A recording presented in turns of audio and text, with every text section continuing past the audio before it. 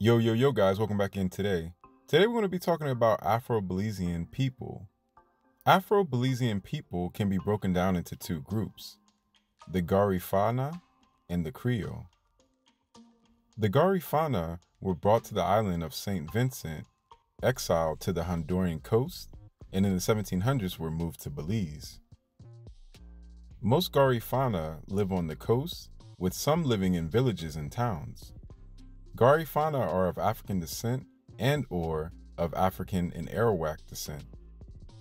In 1675, cargo ships would wreck on the islands of St. Vincent. The West Africans just being brought over and escaped maroon Africans escaping to other islands would go on to live with the Arawak population. This society would exist and develop independently from Africans on the labor plantations. The Garifuna and the Arawak would create fighting regiments who resisted European colonization for over a century.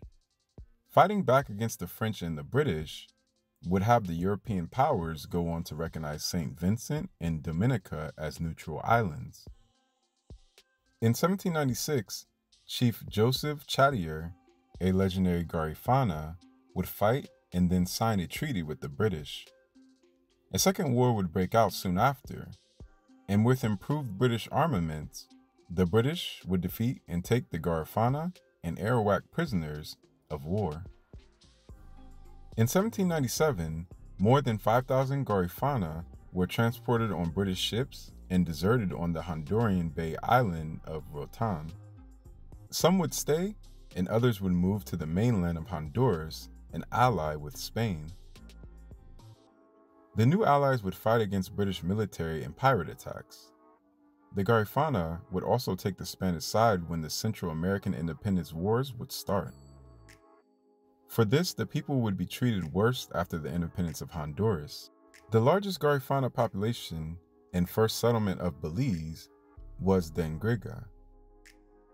In 1937, the dictatorship of Honduras would lead to 22 Garifuna men in San Juan digging their own graves. They would be killed due to false charges of treason. The rest of the community would escape to Hopkins. On the isolated coast, the people would be able to maintain cultural practices and their language. Men would fish and trade created products on the coast. The men would also work as loggers, merchant mariners on fruit boats, and also migrated to the US for work. Women would do agricultural work.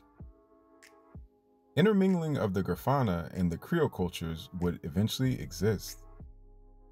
The Garifuna people pushed for the government to declare November 19th as Settlement Day in Belize for the Garifuna people.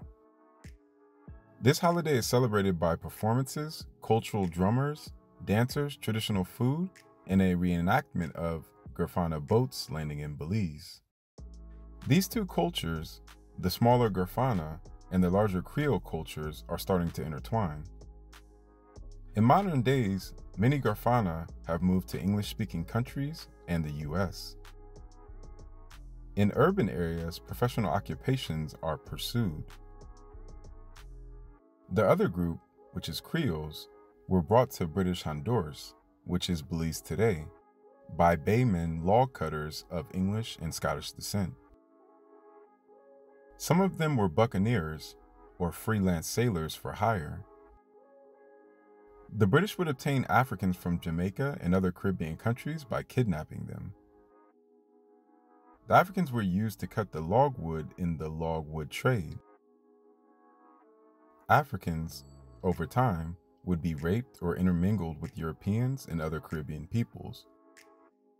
The earliest European account for Africans in Belize was by Spanish missionaries in the early 1700s. In the 1980s, 60% of the population was Creole. With immigration to the United States, this number would drop. Creole culture can range in looks and is classified as an ethnic group. Anyone that is partly of African descent or speaks the Belize Creole language can be considered Creole.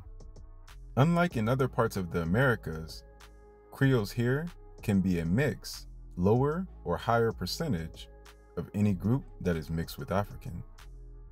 Belize Creole was at one point only spoken by Creoles, but now is spoken by a majority of the population. Majority of the population came from West and Central Africa. The Igbo ethnic groups of West Africa was very prevalent in the people coming to Belize. Ibo Town in Belize Town was dominated by Igbo people from West Africa. Maroon settlements in the forest, such as other Maroon African groups escaping slavery around the world, was created in Belize.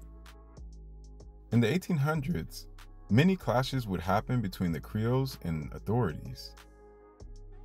They were also known for the trade in fish, fishing, and sea turtle trade. In the 1900s, Creoles would help create organizations that would change the country. Riots and natural disasters would lead to Belize's first trade unions. From these trade unions would come the People United Party, or PUP. Also, organizations such as the United Black Association for Development were created to unite Creoles. With more major disasters happening, many Creoles would move to the United States. Celebrations, such as the Creole Festival, happen at the House of Culture in Belize. Maypole is also a celebration of tall wooden poles decorated with colored ribbons. The Creole dance, Sambai, is celebrated too. The ancestors would bring their different tribes to Belize City to celebrate Christmas. They would dance in a circle under the moon, with one person being in the middle. This dance was the passage rite for young teens into adulthood.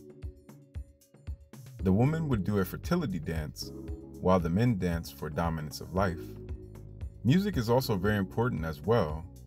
Brukdown style of music was created by Creole families long ago. It is also a style of Belize music and is looked at more as a rural music. Drums, banjos, and even animal donkey jawbones are used to create this music. Creole food consists of rice and beans with stewed or baked dishes.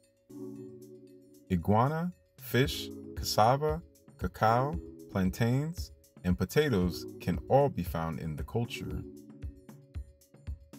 For breakfast, Creole bun or Creole bread and Johnny cakes are very common.